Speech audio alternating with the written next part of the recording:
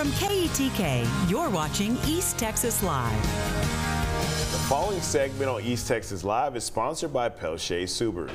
Welcome back to East Texas Live on KETK. Megan with SPCA of East Texas is back, and she's here with Cadence because she's looking for a forever home. Thank you so much for being here. Thank you for having us. So can you tell me a little bit about Cadence? Um, so Cadence is a nine-week-old Border Collie mix.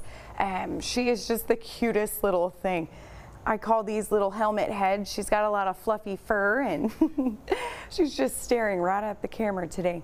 Yes, ma'am. And you know, I saw that this breed of dogs are kind of talkers, meaning that you know they bark a lot. So, have you seen any talking phases from her? I actually haven't seen her be a, a big talker. Um, she does get excited and bark every once in a while, but um, nothing crazy, which is really nice. So she's she's more on the quiet side.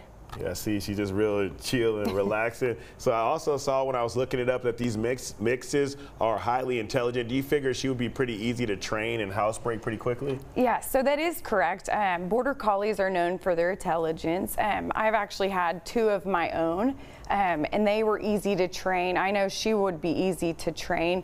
Um, she's already shown signs of just being so smart. She's crate trained, so she sleeps in her crate at nighttime. We are working on housebreaking though.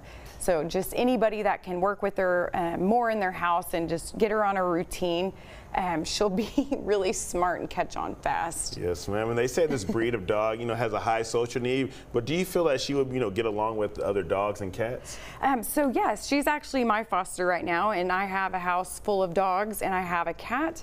Um, I also have nieces and nephews that come over, and she's great with everybody.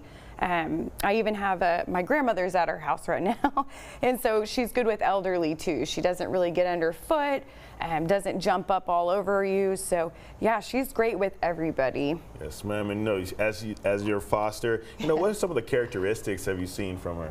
Um, again, intelligence. Um, she really likes being around my dogs, so wherever they're at, she'll follow. So I think she would be good in a home with other pets um, dogs especially, um, that will help her learn her obedience training too because she'll follow what your other dogs do routine wise.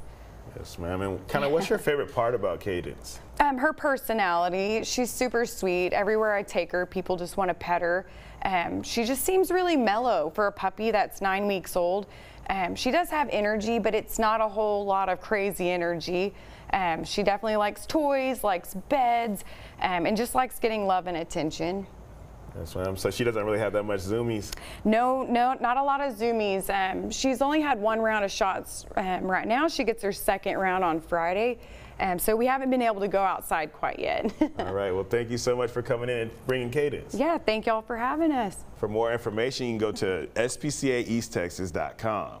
Remember, the previous segment was sponsored by Peltier Subaru. We'll be back with more KETK's East Texas Live in just a couple of minutes. Stay with us.